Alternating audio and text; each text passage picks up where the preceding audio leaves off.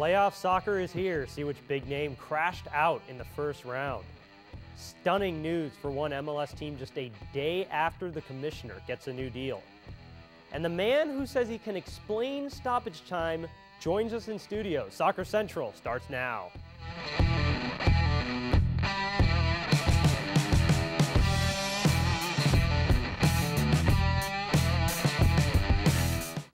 Well, the USL Pro, Pro, playoffs are underway, and boy, did they start off with a bang. The big story could Orlando City continue its dominant and record breaking season with a second straight championship, effectively riding off into the sunset as the team leaves the third division to join MLS next year?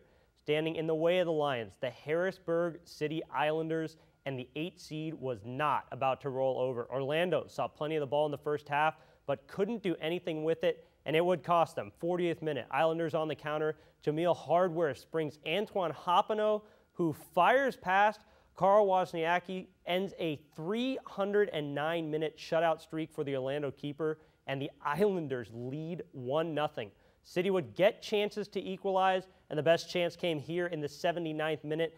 Dennis Chin somehow puts the wide open header over the bar. Orlando can't get the equalizer, and the Harrisburg City Islanders stun the Lions. It's Orlando's first home loss in 19 games, and it ends their season. So we had one of the top seeds down. Could the LA Galaxy 2 avoid a similar upset against the Rochester Rhinos? It looked good for the underdogs early. Alex Dixon here finding J.C. Banks. He hammers his shot off the crossbar and in. Rochester jumping out to the early lead.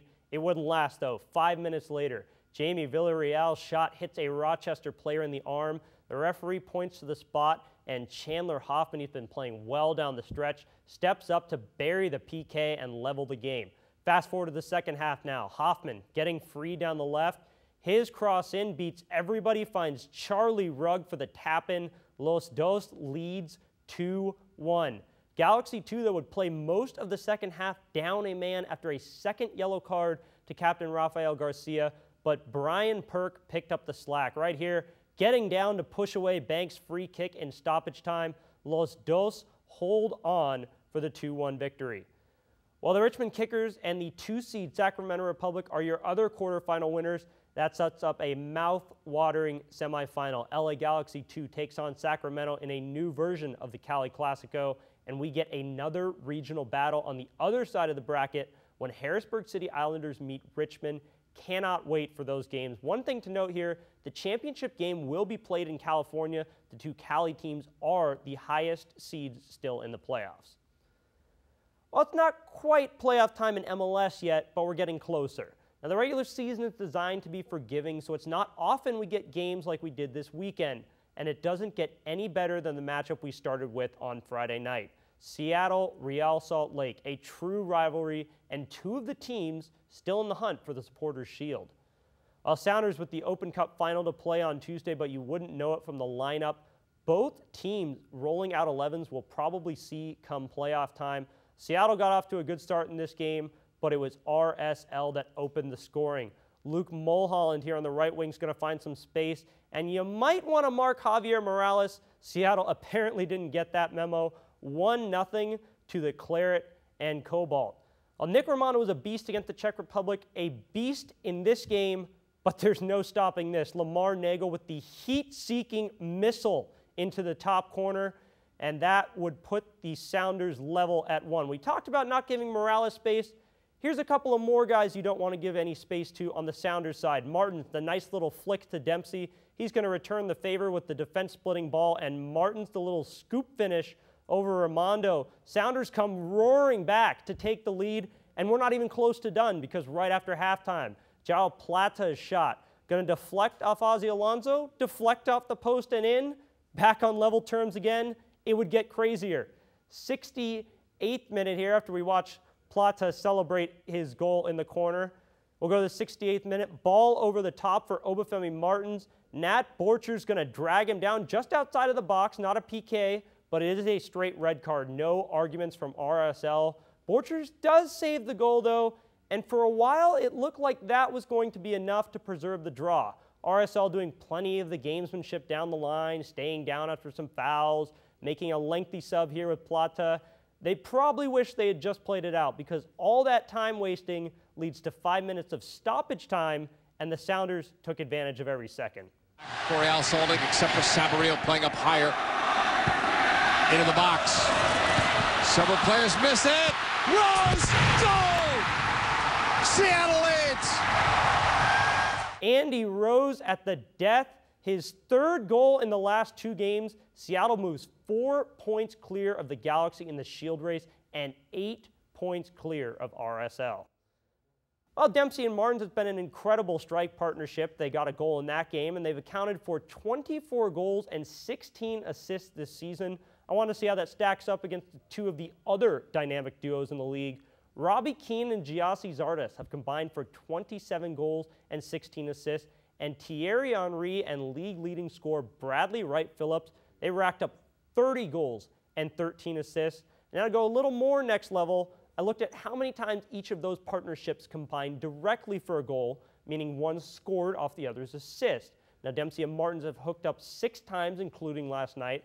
That's three better than Keenan Zardes, but leading the pack, Henry and BWP. Henry has assist, assisted on eight of Wright Phillips' 21 goals. Now, one of those assists was credited after Henry drew a penalty that was scored by Wright Phillips. While FC Dallas doesn't really have a attacking duo, Oscar, Pareja's team is just loaded with attacking talent, period. Blas Perez, Fabian Castillo, Tesho Akindele, the list goes on. Dallas taking on the Whitecaps Saturday night. That's a team that also has a good group of attackers, but it's a group that has not been scoring. Even so, Vancouver clinging to the last playoff spot in the Western Conference could really use a win to put some distance between themselves and the Portland Timbers. And there were some great goals this week, but I'm going to spoil it for you. The goal of the week winner is coming out of this game. Here's why. Are you kidding me, Blas Perez? Jeremiah Oshan on Twitter called it a run of play Olympico. Pretty much says everything you need to know about that goal. Cap's probably feeling hard done, but this will make it better. Erik Hurtado, the first time volley, just the third goal in six games for the Caps, but this night would belong to Perez. Right place, right time here. Easy finish with David Ousted out of position. Dallas gets the 2 1 win. So Vancouver stays at 37 points, giving the Portland Timbers a chance to jump back into the playoff places. All they had to be, do was beat the Colorado Rapids, losers of seven straight. Easy, right? Well, nothing's ever easy when it comes to the Portland defense. Timbers get on the board first here. Fernando Adi, the clever little layup, and Diego Valeri, another terrific season from him. He powers at home. That lead would not last long, though. Liam Ridgewell called for the handball in the box. Dillon Powers is going to send Ricketts the wrong way, and we are tied at one.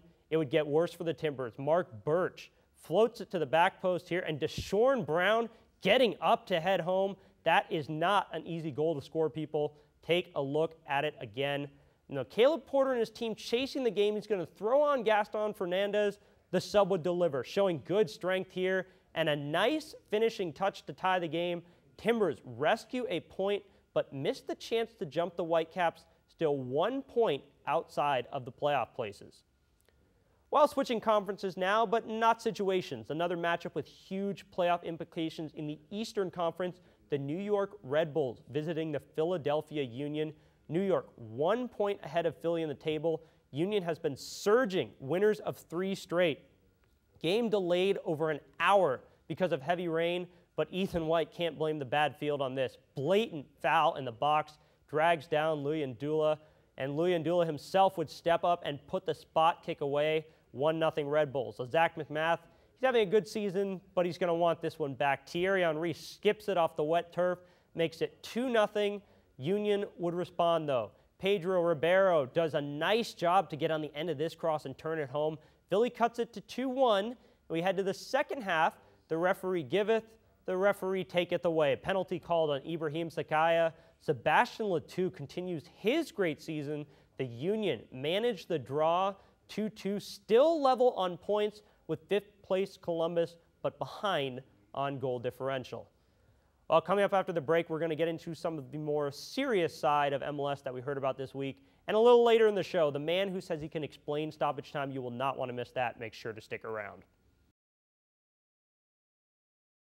Well, Chivas USA got blown out 4 0 Friday night by Sporting Kansas City, but that was nothing compared to the bombshell dropped the same night by Sports Illustrated's Brian Straus. Straus is reporting multiple sources have told him Chivas will not play next season and possibly the season after that while the Goats go through a rebrand. Rebrand, excuse me. Now, all year we've known the league is trying to find a new owner, but I don't think anyone thought having the team sit out for a year or two was a possibility. Now, this is a bad situation, there's no denying that, but let's think about this logically. Chivas needs a rebrand. It's important to get that rebrand right. Now, shutting down a team is not a great look for MLS, but would playing through those two years really help while the transition is going on? A hastily done rebrand with no advertising, no buildup, isn't going to sell tickets, not going to build a fan base. And there's nowhere to play on short notice except the StubHub Center. That's known as the LA Galaxy Stadium, and it's one of the reasons Chivas doesn't have its identity, its own identity now. And I feel for the Chivas fans, I really do. But the harsh reality is there just aren't enough of them to make it worth trying to keep this team going through the rebrand. Sounds harsh, but if the cost of getting a new and healthy team in LA is to lose the current group of Chivas USA fans, unfortunately, that's a good trade off business wise for the league. Now, make no mistake, this is a failure for MLS. It's arguably the biggest failure since actually having to fold two teams in 2002. That's an interesting uh, juxtaposition. The timing is interesting because it comes a day after MLS announced Don Garber has signed a five year contract that will keep him as commissioner of the league until 2018. MLS has mostly flourished under Garber, and he's holding to his top league by 2022 mantra. Now, he was at the helm in 2002 when the league almost failed after contracting to 10 teams, but he was the guy who managed to get MLS out of trouble, and now he's the reason the league will have more than 20 teams next year. But this has to be his biggest challenge since that 2002 contraction. How he handles the Chivas USA situation probably won't come to define his career as MLS commissioner, but there are more people watching this time around, and it's important that he gets LA2 right. Well, after the break, stick around because, like I've been telling you all show, the man who says he can explain stoppage time he will be here in studio to talk about referee bias. Maybe we'll figure out why uh, Jeff Cassar wasn't too happy with those stop those five minutes awarded to the Sounders. Stick around. Can they do something here? It's Cristiano Ronaldo. Oh, it's a great cross, and it is an equaliser from Varela. USA denied right at the death.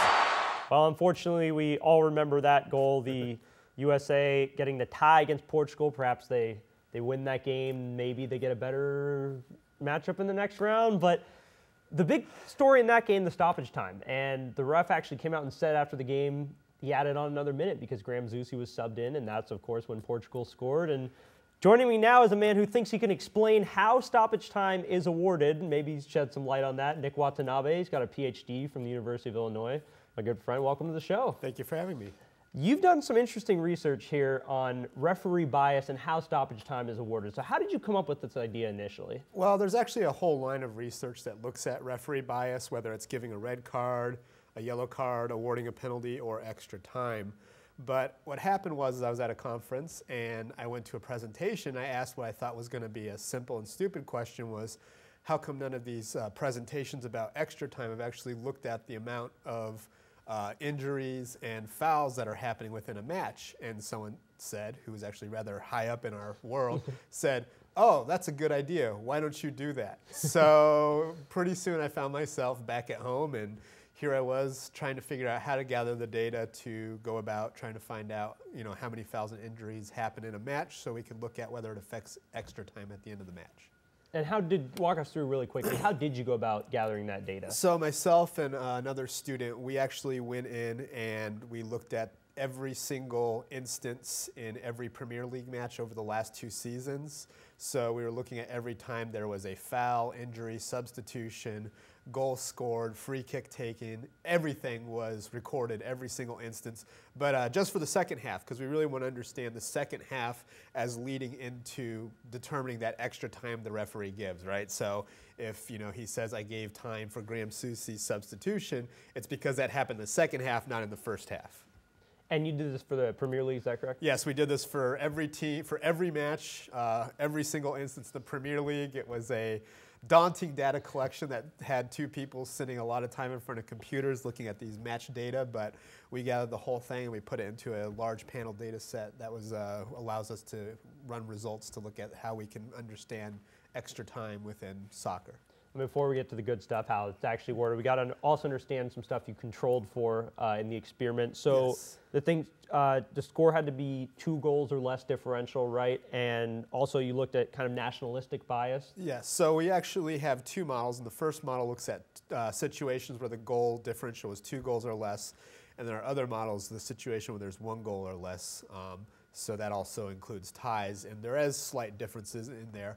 We looked at nationalistic bias because it's been theorized, and some research has shown, for example, at international matches, that uh, the bias is based on you know where the composition of the team is and who the referee is.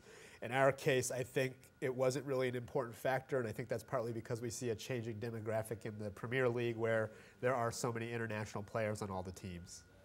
And you actually, now to get to that good stuff, you actually did find some pretty significant results. Yeah, I was, I was, I wasn't saying I was fully surprised by the results, but I think it was rather interesting. We see that scoring goals in the second half gives you more time, but actually goals in extra time. So in that extra amount of period will give you even more time. So a referee will give you more time if you score a goal really late in the match.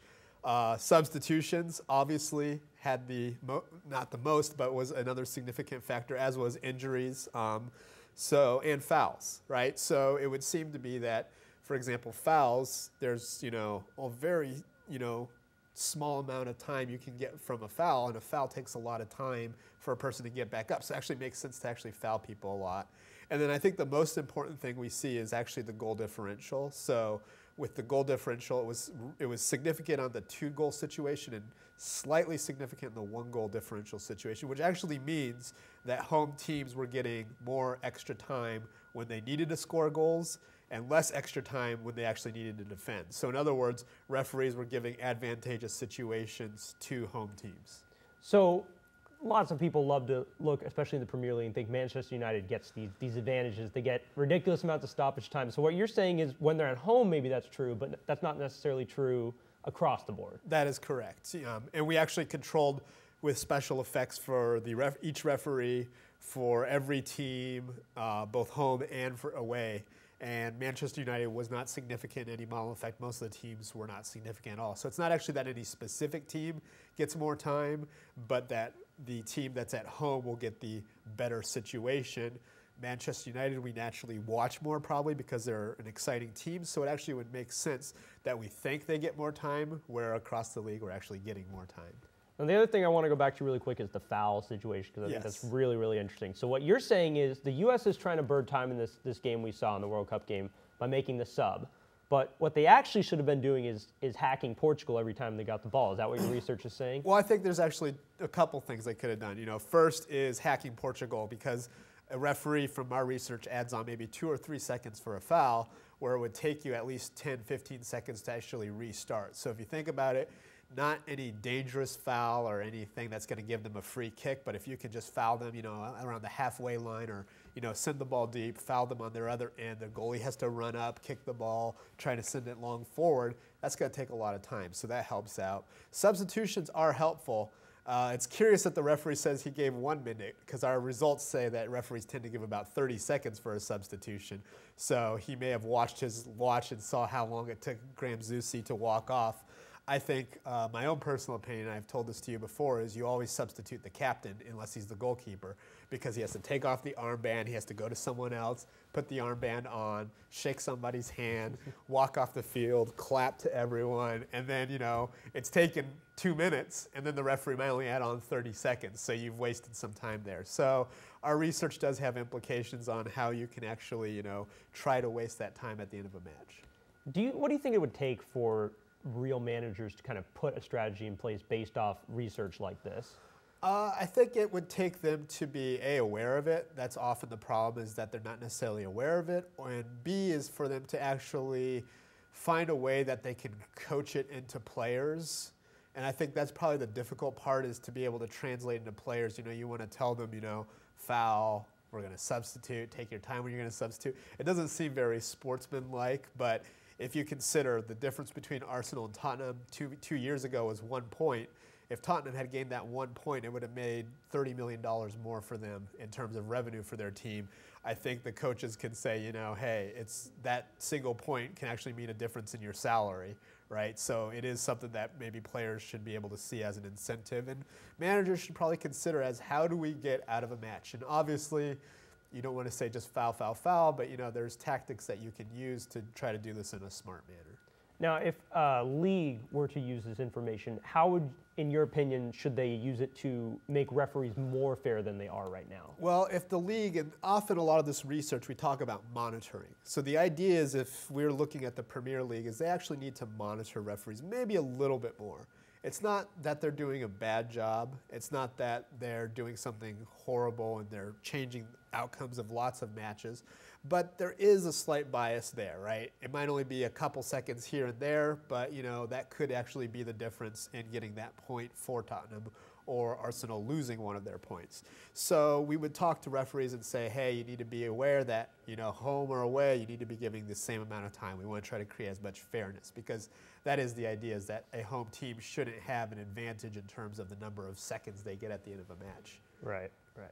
And the last thing I want to talk to you about, you are doing this research with MLS as well. Yes, so our next step is we're actually going to look at Major League Soccer, where monitoring of referees is even a newer concept. Um, we know that uh, there's been some significant changes in the league. For example, the penalties taken have pretty much doubled from one year to the next. So that's all because of uh, what the league's been telling people. So we're going to try to collect some data and see if there's a bias that's been included within these changes. Like maybe you know the league says you got to give more penalties. Well, naturally they give them to the home team or if they give them more extra time and so forth. So we're going to see if there's changes. We don't know if there's any results yet, but that's our next stage in research. All right. Well, hopefully we'll uh, get to have you back on when you finish up that research, and maybe we can take another look and kind of see where it goes for, for MLS as well. Sounds and good. Possible U.S. Open Cup as well? Uh, yeah, we're actually thinking about the U.S. Open Cup because it's sort of a natural experiment because we get to see how a upper division team versus a lower division team